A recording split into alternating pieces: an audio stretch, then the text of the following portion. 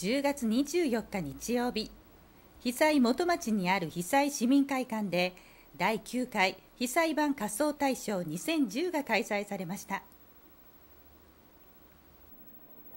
この日開催された被災版仮装大賞は昭和30年頃から毎年秋に自衛隊と地域住民が一体となって伝統的に行ってきた仮装行列を新しい形で継承していこうと始めたもので審査員には本家の日本テレビの人気番組「金ちゃんと香取慎吾の全日本仮装大賞」の構成作家やプロデューサーらも招き開催され今年で9回目を数える催しです。この日の司会者にはスペシャルゲストとしてゆうこりんことタレントの小倉優子さんが招かれ小倉さんがステージに現れると会場からは大きな歓声が上がっていました。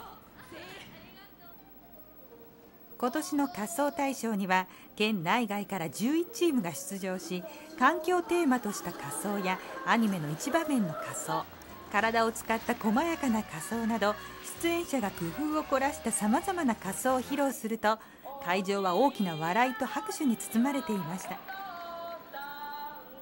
また演技が終わると審査員から演技についてのコメントや仮装のヒントはどこから得たのか苦労したことはなどの質問が行われると出演者は遊んでいたら気づいた。練習が大変だったなどと演技を終え少しほっとした表情で答えていました。この日の参加者は6歳から92歳と幅広い年齢の方が参加しそれぞれが素晴らしいテーマと仮想のアイデアで演技を行いました。